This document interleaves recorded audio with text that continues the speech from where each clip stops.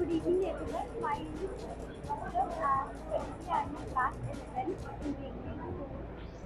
आज आपको पुरस्कार दिया गया कि दिया गया है? दिया गया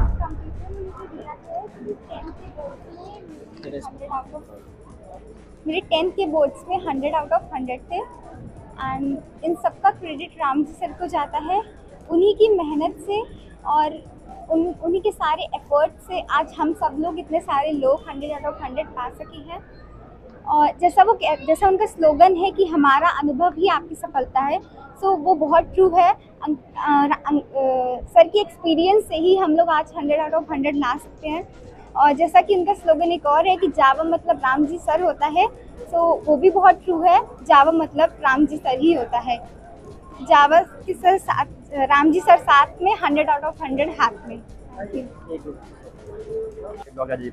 आप लोग जी। मेरे 92 परसेंट आज ओवरऑल एंड कंप्यूटर में पूरे हंड्रेड ऑफ़ हंड्रेड आए थे। एंड मैं सारा क्रेडिट राम जी सर को देना चाहता हूँ, क्योंकि वो उनका पढ़ाने के तरीके में इंटरेस्ट बहुत था। मैं मेरी पढ़ाई ऐसी कि मुझे अगर इंटरेस्ट ना मिले तो मैं नहीं कर पाता हूँ। लेकिन राम जी सर ने मुझे इतना इंटरेस्ट से पढ़ाया कि मेरे तभी हंड्रेड ऑफ़ हंड्रेड आ पाए थे सारी देन उन्हीं की है।